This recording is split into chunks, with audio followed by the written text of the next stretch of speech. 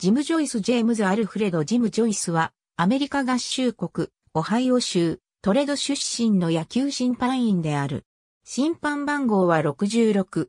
1977年に、ボーリンググリーン州立大学を卒業後、翌1978年に A 級ミッドウェストリーグで審判員デビュー。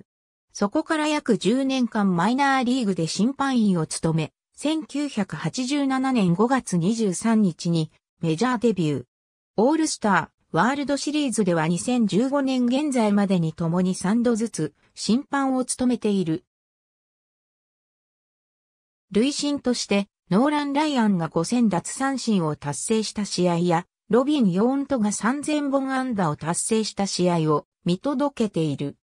2010年6月2日のデトロイトタイガース対クリーブランド・インディアンス戦でタイガース先発のアーマンド・ガララーガはジョイスの誤審によって完全試合を逃している。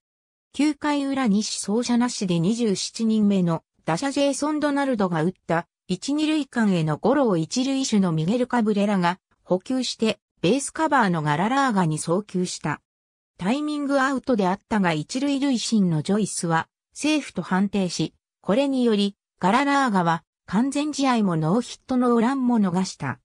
その後、一番打者のトレバー・クローを三塁ゴロに打ち取り、打者28人を内野安打1本に抑え3から0で完封勝利を収めている。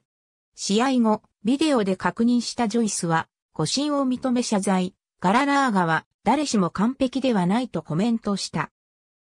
ありがとうございます。